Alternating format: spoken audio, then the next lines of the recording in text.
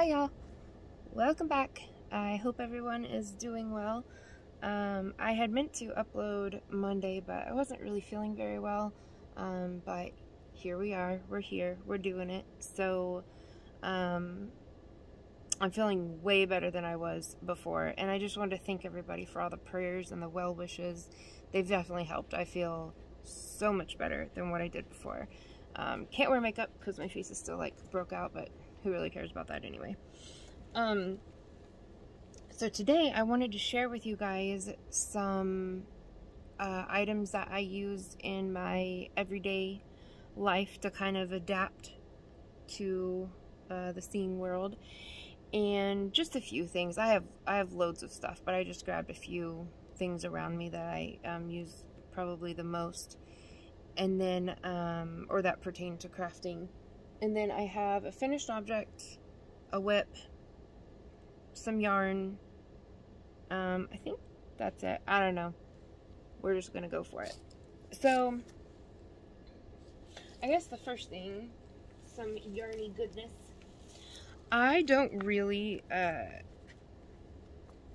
go for the color purple all that much. I don't dislike it, um, but it's not one that I really go for but I saw uh, the KC, I think this is called, oh my gosh, what is this called? I think this is called Movement. Um, I saw this in Joann's. Let me, where's my lighting button? There we go. I saw this in Joann's. Um, it's like purple and light gray and navy blue. And I remembered that I had this Truboo at home.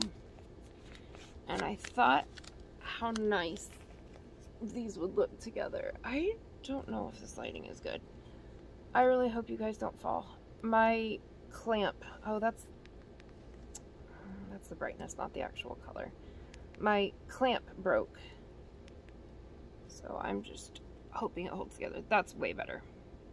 But yeah, I thought these would look really nice together. There's a few tops on Ravelry that I've seen that I would love to make. And um, I don't know, I just really thought that those looked good. So I got that. My hubby, excuse me, grabbed these for me on his way home from work. Um, the Caron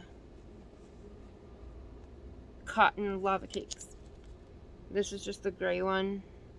Um, my eyes are really, really strained today, so I'm not really reading all the stats on this stuff, and I think you guys mostly know them anyway. Um, but just when my eye is really strained, I, you know, kind of, I'm protecting what vision I have left, so I don't really push it. Um, but he got this for me because they're clearance, and it is cotton acrylic, and it's light enough that I thought this would be a fun little experiment to um, over dye uh, and see how it turned out. Okay, um, finished object being a hair or a fiber, probably a fiber. Um, I did not finish this recently, being transparent. This was my I think this was my first cardigan, or not cardigan, goodness, um, my first sweater that I made. Um, I brought it out. I was going through some of my finished objects because I I don't usually really keep much anything I make, and so I was getting stuff out to donate. I have a couple things set aside that I was going to show you guys and see if anybody thought it would be good to put in a giveaway or if that's kind of corny. I don't know. They're probably not great. I don't know that anybody will want them. But anyway, um, and I pulled this out and he got very excited um, because I kind of put it in timeout by the time I got done with it. I didn't want to weave in the ends. It wasn't winter anymore anyway. But, um, so he picked out this yarn. I have no idea if this is showing. I really hope that it is. Uh, here's the sleeve. So what this is, is the, um, I don't know that it's even carried at Hobby Lobby anymore, I'm not sure. This is the Yarn Bee, oh honestly I would be guessing. It was a really furry yarn in a cake that is ombre, or yeah, ombre. Um, and I held it together. I got a Kramer mystery box and I hated everything in it. It was awful. Um, but he really liked this like very orange. Uh, it's, the orange that you see held together with the ombre. He loved that. I thought it was atrocious, but he loved it. So I held them together and this was actually the sweater I was telling you guys about in another video that the Hobby Lobby uh, plastic ergonomic hooks, um, that it just goes through this sort of thing with like a dream. Doesn't work for me with anything else, but that, it goes through like a dream. Um, anyway, so I made that for him. And I have the same yarn for me, but in a different color. Mine is like blues and teals, and I think there's some gray in there too. And then um, the yarn that I'm going to hold it together with is the Spinessa. I think that's what it's called. Uh, from Yarn Bee. It is a navy blue. So I just haven't done it yet. I'll probably make it this winter. Um, this is my whip. This is a paid for pattern on Ravelry. It's a long rectangle shawl. I only have, um, I think, one or two more repeats to do on it. And it's this really cool, like, argyle. To me, this looks argyle. And that might be what it's called. I hope y'all can see it. Um, but this is made out of the, uh, is it Gazzal? Yeah. This is made out of the Gazzal Rock and Roll. And this is in the blue, the navy blue. Um, so, I'm working on that. I'm not too far from being done with it. I Haven't worked on it in a little bit. I finally picked it up and worked on it some more. And then I actually, where did it go? Wanted you guys' opinion. Oh, here it is. So I'm doing the Bag Day uh, vest, her most recent vest that she's doing. And, so this is the, this is the back panel. I'm working on one of the front panels, and I knew that this was going to happen. She used uh, Comfy Cotton, so just a solid. I'm using an ombre gradient yarn. Um, and so because this is so like wide, I knew that the striping was going to be shorter versus the front panels. Front panels are much, much shorter because it's not like a cardigan where it's meant to close. So the ombre is working out very, very different.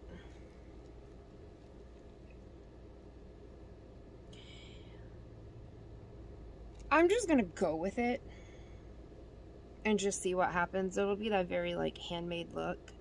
Um, so I know the front panels are going to be a much more slow, slow gradient. It's not going to have as many repeats through the color transitions. Um, and the sleeves are probably going to work up fairly similar to this. Um, let's see. The sleeves will probably be a little bit, they'll be a little bit bigger, but they're going to work up pretty close to this. So my thought is, like, the back is going to look very different from the front. You're not going to see them both at the same time. I should just go with it, right? And just let it be what it's going to be and not worry that it's not... It's hard for me that it's not going to be perfectly matched. Um, my husband's sweater, I dug through the yarn until I started it at the exact same place. This is the back, this is the front. because it needed to be the same. Um, the same for the arms or for the sleeves. Uh, I wanted them to be symmetrical. That is just an OCD thing of mine, and I don't use that term lightly. I am diagnosed OCD. Um, anyway, I think it'll still be okay. I mean, I'm gonna do it anyway, but yeah, so that I'm still working on that. Um, okay. So, reminder tomorrow. You guys are tilted. I'm so sorry. My thing is broken. I'm afraid if I mess with it, you're gonna fall. Um, tomorrow is the my drawing for my 200 subscriber giveaway, and we are 24 away from 300. With this, my goal is to get to 500 for my um, community tab, of course, but uh, you know, a thousand and working towards monetization. Thousand is gonna, you know, the monetization is gonna be a big one. And so I have a bag going. Be the change you wish to see in the world. I love that saying. And I'm going to keep filling it as we go with nice snazzy things for a giveaway for the big giveaway. So I'm going to show you this yarn haul because some of this is going in there. So I ordered off of Facebook Marketplace. D, it is all your fault. You're an enabler. I blame you. Um, and so, okay, so the first things that's going in it, I had never heard of this, but I'm fairly new to the game. Um, Silky Wool by Elsebeth. I don't remember her name. Uh, my sighty people can see that on the screen. Um, for my visually impaired folk, this is wool and silk, and it feels... Okay, I do need to read this stuff. It feels like... Well, I've never put my hands on Noro. I want the Noro Cura something, I don't know. Um, there's this one really pretty colorway that is just very pretty. Um, one of these days, but I have to assume this is what it feels like. If you've ever felt Cascade Tangier, it feels that way to me. Um, this is 45% wool, 35% silk, 25 or 20% nylon, 50 grams, 175 meters, so probably like 200 yards. Um, it's not rough. It's not like silky, silky soft, but um, it's nice. And it's in a denim color.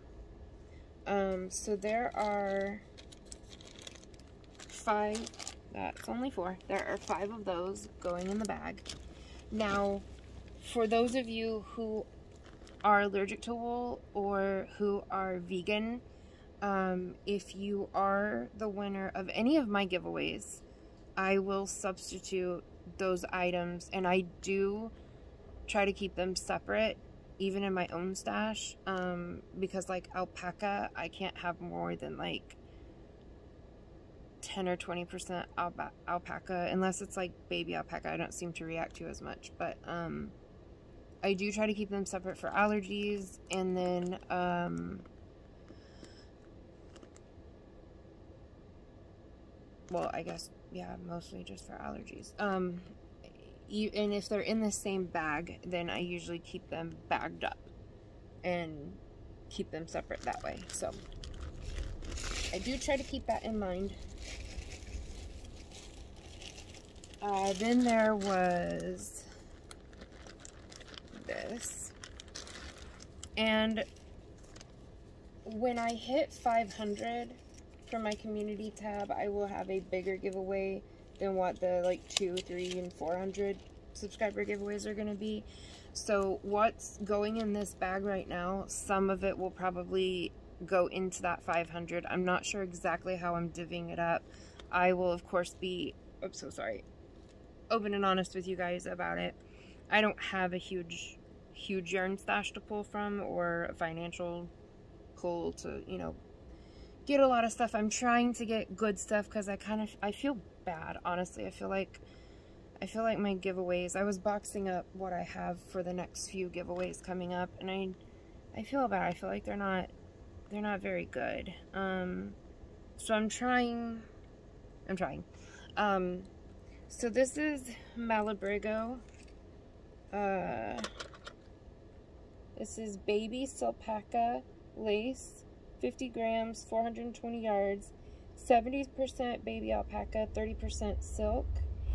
And y'all, this is so soft. Oh my gosh. So it makes me think of like oil slick.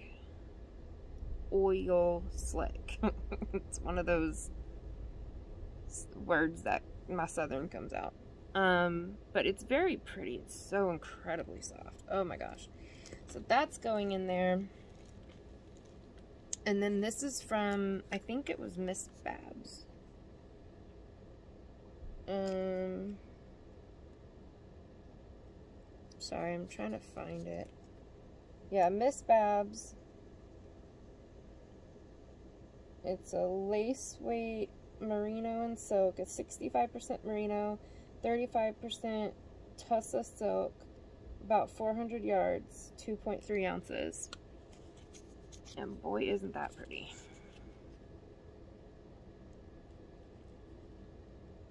So, just gorgeous. So that's going in there. Um,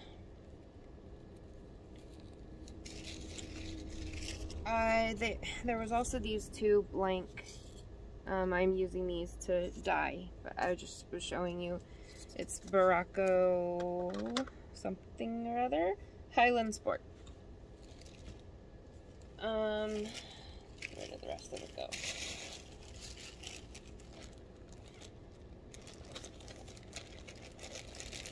I also got, this was all from the same seller. I also got these Cloudborn. Oh, you know what? I said that other one was Berroco. I was wrong. It was Cloudborn. Um, these are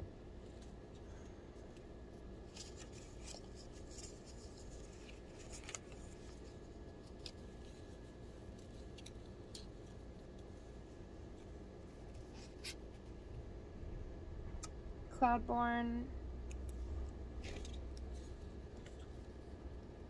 Upside down. Highland Superwash Sock Twist. Um, so I thought these were kind of cool. I like this one.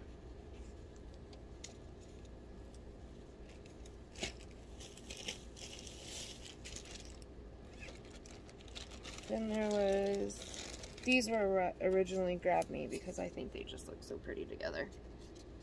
These are Cloudborn as well. Merino Superwash Sock Twist. I'd never had Cloudborn before. And it was a lot of, like a, I bought a, not a lot, but like a bundle. Um, so I got a pretty good deal on it. I was kind of upset about something. I'm not going to focus on it, but, um, just one of those things that happens sometimes and um, you know this happens to everybody. I don't think this was specifically a blind thing. I don't know. I did let the person know uh, you know I told him I'm blind. I'm so sorry. Because because I was asking a bunch of questions that were clear to a sighted person. And so I always worry that people are going to get irritated by me asking a bunch of questions especially if they're rather obvious. And um, when I bought this stuff, there was supposed to be two balls of this uh, Berroco Folio. It's this blue. It's so luscious. It is so soft. Um, it is 65% super fine alpaca, 35% rayon, and oh my gosh, it is just, it is dreamy. Well, when I got it, and, and I was charged, you know, what I was charged for this. But when I got it, and, and it was supposed to be two of these exactly. Well, it's very evident that that is not what happened. This is a, it, I could be wrong, but it feels to me this is just a, um, oh man, words are hard, y'all. Um,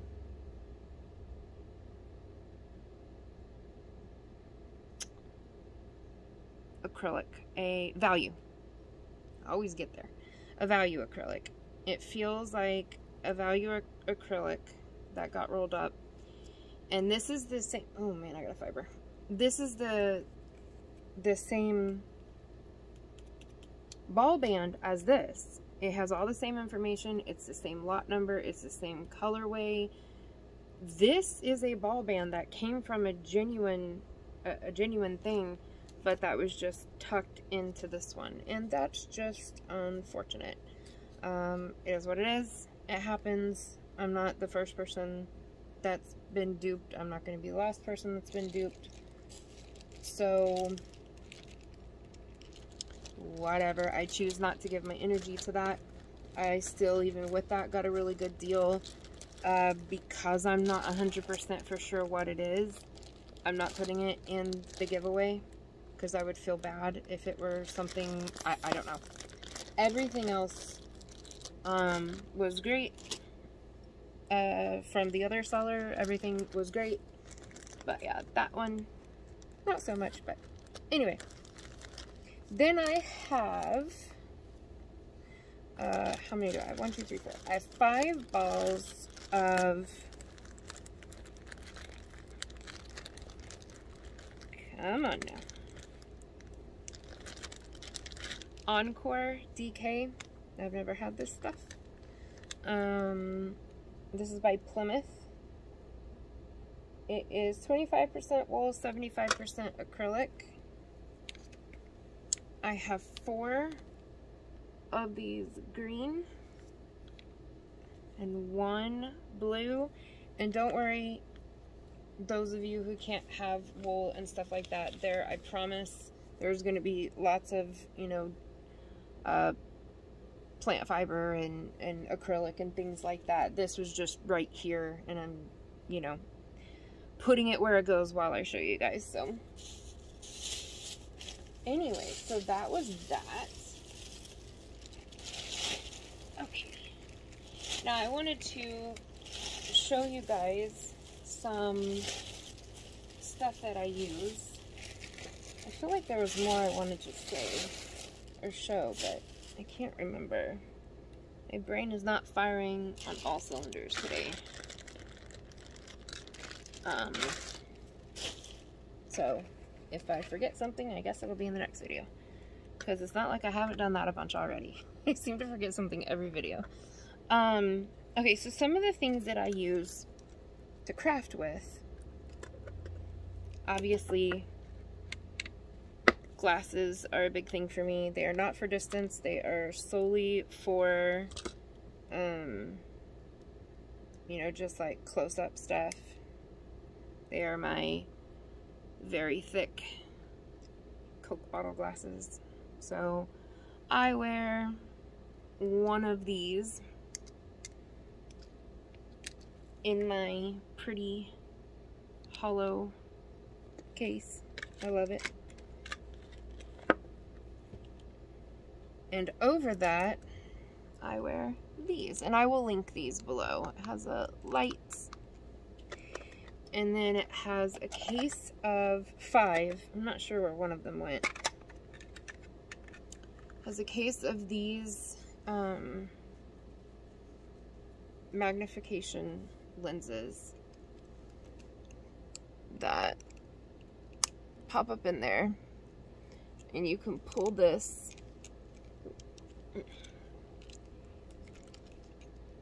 you can pull it closer to you or further away it, you know, goes up and stuff and has lights. I lost the little squishies for the nose thing, which has been a little unfortunate. Um, and then it charges by USB. So I wear glasses and that for crocheting. Most of the time, I don't look at what I crochet, I do it all by feel. But uh, sometimes I do need to look at it if it's a um, like cable work. I mean, most cable work, once I get it done, I don't have to look at it either, but um, anyway, sometimes I do have cause to look down, and that's what I do. One of the other things I use if I need super magnification for um, making stitch markers or doing diamond paintings um, are these. It's uh, like jeweler's loupe so they're very silly looking. Um, this one's hollow because I can't see out of this eye, so I don't use that one. But it has all these different magnifications. And so I can pop in whatever kind of magnification I need. And I can get very, very close. I can do, I mean, diamond art and, uh, you know, doing seed beads is very tiny work. And I can do it if I have those. Um, most of my beading I do by feel also. I really don't do a lot by vision, which I'm glad for, um, that I can, you know, do that. I've known that my vision was going to go completely away, and so while I had vision, I was training myself how to, how to do stuff. Um, this is not just a blind thing, this is an everybody thing. I found this on Amazon. Uh, it's got a gooseneck. Oh, sorry. It has a metal plate on it, and it came two to a pack. And this is actually a sewing machine light. Um, because I need lots of light to be able to do some of that stuff. And so I have one over here, and then I have one on my sewing machine. And I love those little babies. I mean, you can just pop it anywhere. And it comes with this little metal disc that you can adhere to anything if it's not metal to make it to where you can stick this baby on there. So that's pretty cool. Okay, how I thread my needles. Oh gosh. Where did my other one go? I'm not sure where it went. Well, fine girl problems. As soon as it's more than a few inches away from me, it might as well not exist. I have no idea where it went. Well, I still have this one. Okay. So, because you won't be able to see through, well, maybe you could. I don't know. I can't. Um, the one that I was trying to find is a single one, but this one does large needles, like large eye needles and small eye needle, eye needles.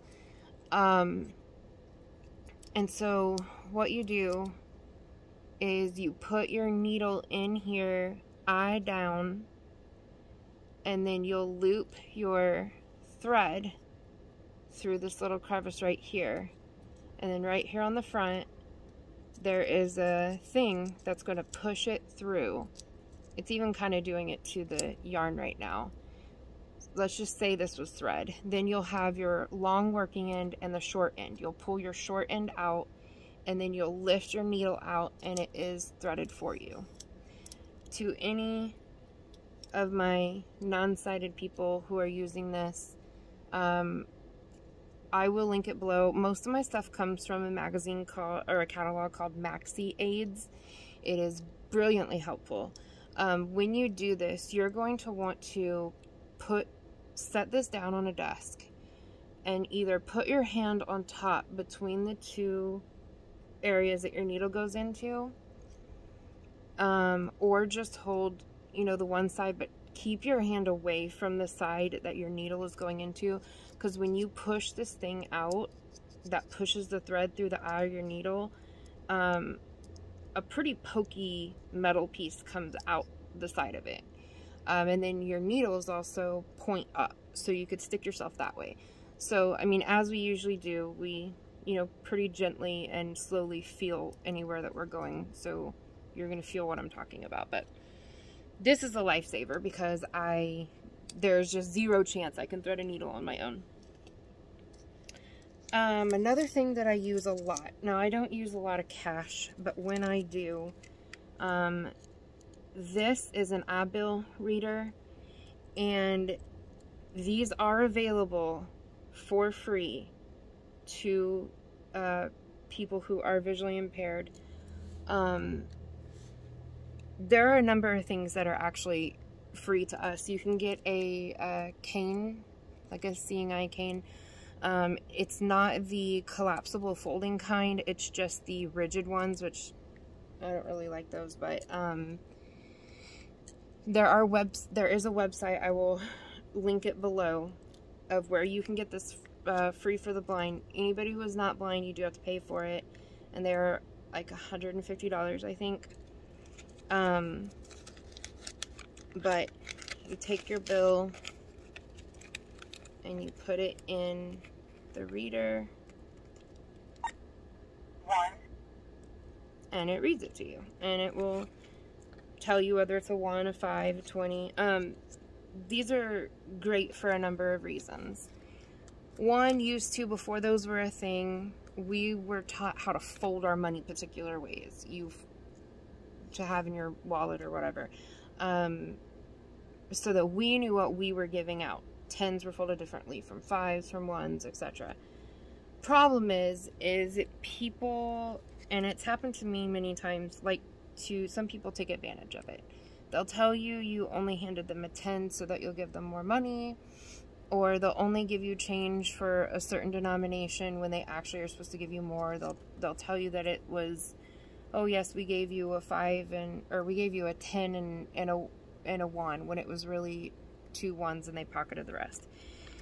This makes it to where you do it in front of them, everybody is kept honest. Um, it's unfortunate, but it happens a lot. So that has been that has been great to have. Um, the final thing, I think this is the only other thing I brought over to me. I predict this being a mess, so we shall see. Um, but this is a uh, liquid indicator. So, I'll put this on my cup. I'm to put it over here. And then there are two level indications. This the long ones on the outside, it will start to warn you that you're getting close to the top, and then the very top one, it screams at you and lets you know you are very, very, very close to the top. Stop pouring immediately. Um, so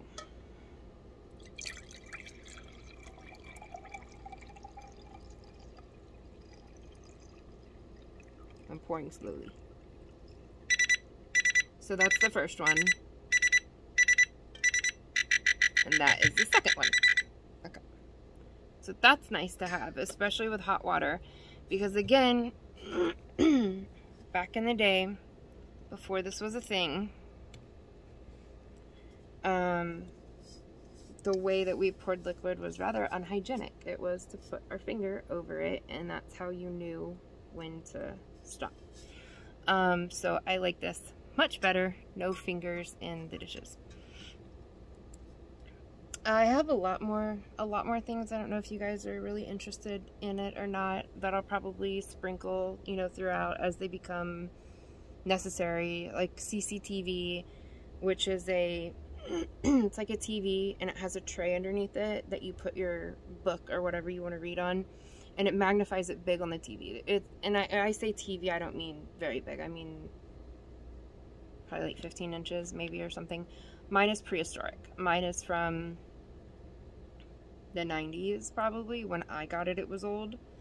They have nice new fancy ones now that I don't know how anybody affords, but um, I have a uh, monocular it's like a binocular, but I only see out of one eye, so it's just for one eye, helps see distance.